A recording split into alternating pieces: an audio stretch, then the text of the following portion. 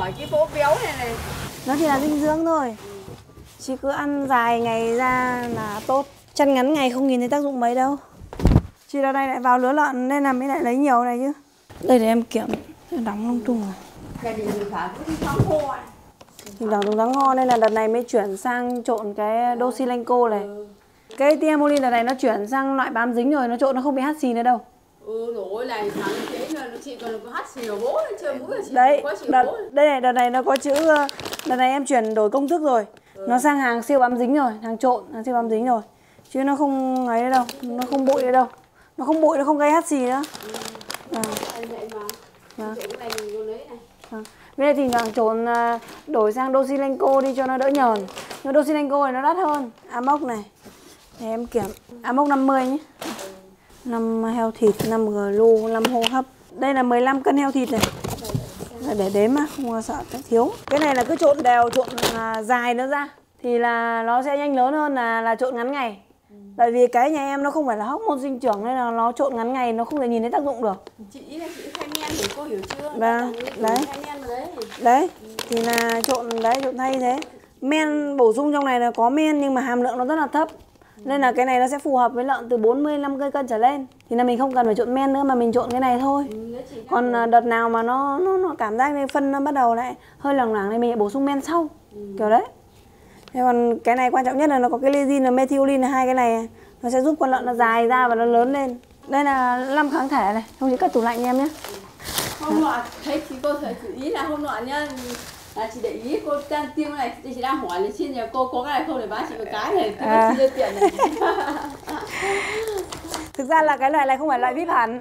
Cái loại vip hẳn của nó là triệu triệu rưỡi một cái cơ. À, à? Còn cái loại này là bình dân học vụ thôi Tiêm vaccine thôi. Đấy chị nhớ trên vaccine mà. Vâng. Thì à, chị nhớ tiêm xong rồi rửa giấy sạch sẽ đi là lần sau chị tiêm là nó không bị làm sao. Chứ còn à, mình dùng xong mà mình không rửa giấy là nó nhanh hỏng lắm. Nó nhanh dỉ mất cái à, giòn này làm muối đồ cồn cái thứ phải rửa Vâng cái này á. Tiêm xi lanh là nó chuẩn chỉ luôn Không lệch đi đâu một liều nào cả. Mà nó nhàn không phải lấy thuốc Không phải bơm bơm Đấy, hút hút. Thế phải chưa phải căng mắt ra nhiều lúc nhìn Em. Em đi tiêm lợn, em dùng bút đánh dấu Về mọi người thi nhau hỏi mua Em đi tiêm lợn, em dùng xi lanh tự động Mọi người cũng thi nhau hỏi mua Một cười. Hôm đấy là về 400 con lợn con này tiêm đấy Tiêm kháng thể này, tiêm vaccine này Những lúc nó bé thì nó ít tiêm ít thì tiêm là được. Chị từ ngày áp dụng cái phác đồ kháng thể Tiêm cho lợn con trước khi về của nhà em là Ừ, lợn nó. nó khỏe hẳn mà nuôi cảm tưởng ngày hơi nó nó không nó đỡ không ốm đau không mấy mấy. Nó đỡ ốm vặt Nó gọi là đỡ ốm vặt. Cái này tí nữa nó về. Rồi cái đặc biệt là không đi ỉa đi đái gì. Ừ. Nuôi nhàn mà. Nhàn. Người ta bảo mất tiền nó phải khác chứ. Cái Amox 50 này là em mới làm này. Nhưng mà nhạy trộn à, phòng tụ huyết trùng rồi tiêu chảy các thứ nhạy. Gà gà đi ỉa mà em cho cái này vào phát là thịt luôn. Cái loại Amox 50 này mà mà nhà ai chăn nhiều bọn em có hàng bao. Mua hàng bao thì nó rẻ Amox này nếu mà em em mấy là em bán chạy to là em bán hàng bao. Nhưng mà những chạy như chị thì cứ mua cân chị thôi mua cân thôi chị cho nó sử dụng này nó dễ này. Vâng. chứ mình mua kia nhiều lúc mình muốn thay đổi cô còn thay đổi kháng sinh nọ kháng sinh kia. Vâng. Không phải là mỗi kháng sinh đâu nhiều lúc mà mình cứ cách ra chỉ cứ cách ra cho vòng à, hai tuần chị lại đổi. Nghỉ đi nghỉ một tuần xong là mình đổi kiểu là cảm tưởng nó hoa chị lại đổi kháng sinh khác. Đúng rồi. Amox uh, 20 đợt tới cũng làm hàng bao. Amox uh, à Tiamulin đợt tới cũng làm hàng bao. Trong bao đấy nó sẽ có 10 túi một cân. ừ. Vâng.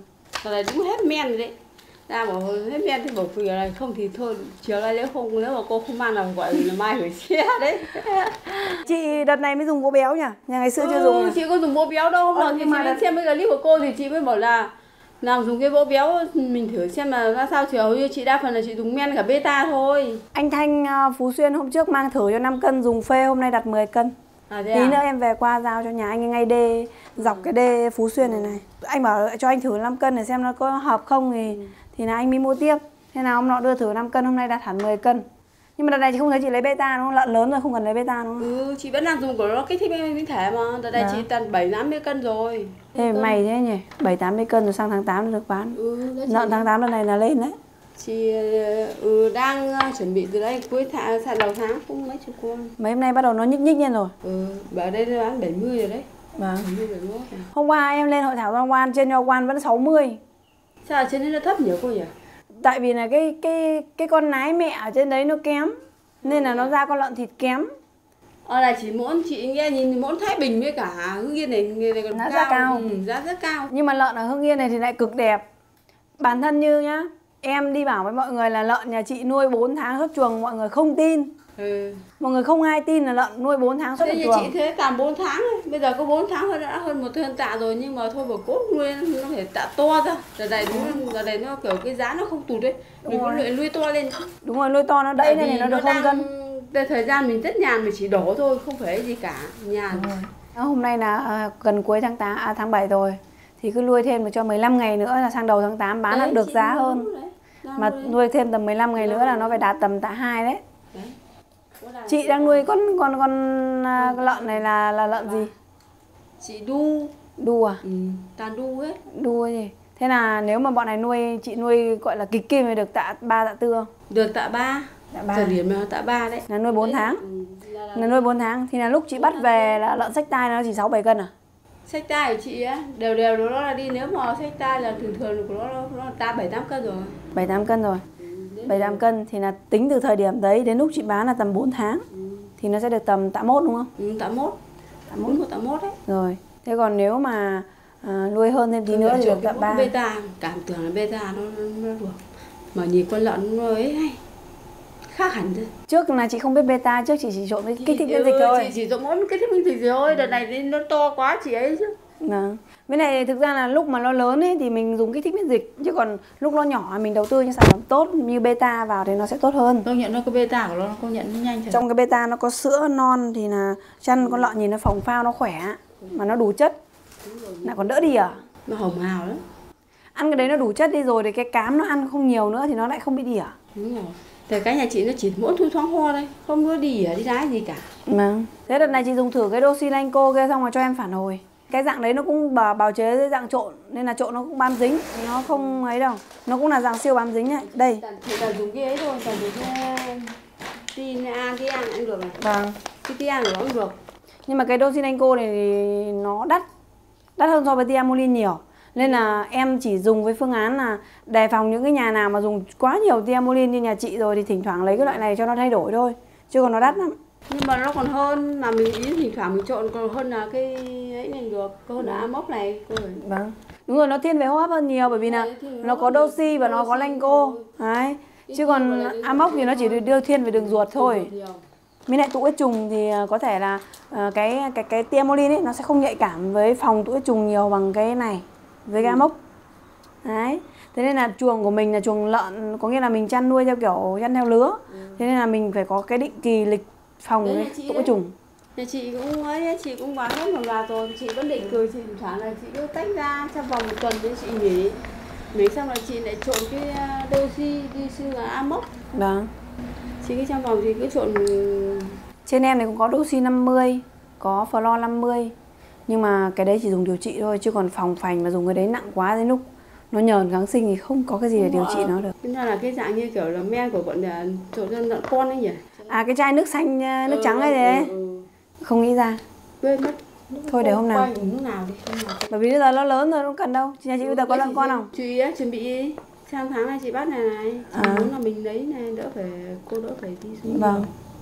không trộn cái đấy nghe chừng Trộn cái đấy nó không chế tiêu chảy tốt mà, mà đỡ phải dùng kháng sinh. đỡ phải dùng kháng sinh Trộn là em à, bởi vì có cái đấy với cả cái men thôi cái men với cả cái đấy thôi thế thôi chỉ trong ba cái đấy Vâng. Tại vì là em đã ứng dụng cái đấy trên con gà bởi vì con gà ấy là một con nó, nó nhỏ mổ khám nó không tiếc.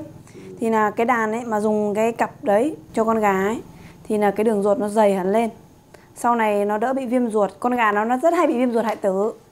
Và nó có cái tình trạng nó hay bị đỉa do E. coli. Thế nhưng mà khi mà dùng cái cặp đấy vào ấy là nó không chế được cái đỉa đấy rất là tốt. Rồi Đấy. hôm bắt về nó đi gầy Nó gọi là cặp phục hồi à, lông nhung và Chìa cân bằng vi sinh vật đường xương ruột. ra như của thế này thì đéo giờ mới mới con lợn nó mới vừa béo hay là bé nó như nó ngô. Mai cho nó bằng này. Yêu xong nó gầy nó chìa xương ra thì chị mới tiêm không phải bắt về thì bổ thì mình cứ tiêm. Mà chị phải cho 4 cái 4 cc cái cái cái kháng thể đấy. Với cả một mũi à, hạ sốt nữa. Cả là hôm ấy là cô gửi cho mấy chai. Là hai cái chai đấy về cứ thuê trộn cũng trong kiểu nhìn nó khác hẳn không ai nhận ra thằng đâu cô nhận nhà bác nuôi lợn lớn trong vòng một tháng Tức là mình trộn một hai lần nó không thể nhìn thấy kết quả được nhưng mà mình trộn liên tục trong vòng một Đúng tháng. một tháng đấy Một tháng mà trong khi đó nhá, một tuần một tuần là mình chỉ trộn vài buổi thôi. Chỉ có cái nước trắng ấy. Một Cái nước trắng thì là trộn liên tục được nhưng mà cái nước xanh ấy là một tuần chỉ cần 3 buổi thôi. Thì là cái nước trắng nó mới có tác dụng là làm dày cái đường ruột lên. Ừ. Thì cái đường ruột ấy khi mà nó dày lên rồi nó hấp thụ được nhiều thức ăn hơn thì nó sẽ, sẽ lớn thôi. bây giờ đổ cứ đổ tét ra không thấy gì hết. Cái đồ ăn ăn ăn ăn chan man thì mình cái cặp trắng xanh không nếu mà nhà chị nhiều lợn nó khi lấy cả lít được. Cái đấy ai biết dùng cái cái nhà mà đang nuôi gà của nhà em ấy. Em cho dùng cái cặp đấy xong là chị bảo là tự dưng là hạn chế được bao nhiêu tiền amok này tiền men này. Ngày xưa nó đi ở nhiều được liên tục dùng men. Nhưng mà từ ngày dùng cái đấy nó đỡ đi ở thì không phải dùng men mấy nữa mà nó còn đỡ mùi hôi phân nữa nhá quan trọng nhất là cái đấy cái cái cặp của em là em nghiên cứu là em làm thế nào để thúc đẩy cái đường ruột ấy nó mọc dày cái lông nhung lên. Nó chỉ cảm tưởng như kiểu là ruộng nhà mình nhá nó cỏ nó dày đấy. Hay là cái cỏ nó ít thì cái đường ruột nó thế. Cái lông nhung của nó nó mọc dày lên. Lợn con đa phần là bây giờ mình phải làm đường cho nó dày mình mới khỏe được. Đúng rồi. Chủ yếu là lợn con đa phần là chỉ nó đi ẻo thôi. Ở Hà Nội nó gọi là lòng xe điếu ấy. Ừ. lòng nó dày nó nhiều lớp ấy thì nó gọi là lòng xe điếu thì ấy nó mới khỏe còn nếu mà trường hợp lên to nó mới dạng hốt ừ. còn càng bé này thì phải càng nhiều trộn nhiều ấy. Ấy, cả loại kia làm sao cho thành, dày thành ruột nó dày nó mới khỏe được con lợn. Thế tháng trước chị có được suất nữa nào? Tháng chưa chị không. Tháng này chị mới xuất này. Thế tháng này sao sau đầu tháng này sao? tháng này suất mà mong sao lợn là được 80 nhỉ? Khó nhưng mà em nghĩ là lên được. Bên Thái Lan với bên Trung Quốc nó là 90 mới lại 100 100 rồi đấy ừ. Thế bên mình em nghĩ là sẽ lên được. Bởi vì em em chơi một anh ở dưới Hưng Yên này này anh ấy nhà anh 1.600 nái và hai vạn lợn thịt. Anh ấy bảo là đợt này có bao nhiêu lợn là anh ôm tất, Anh có bao nhiêu lợn anh ôm tất về chuồng nhà anh anh thả Để anh sang tháng 8 anh bán. Và anh bảo trong dân bây giờ không còn lợn. Ừ.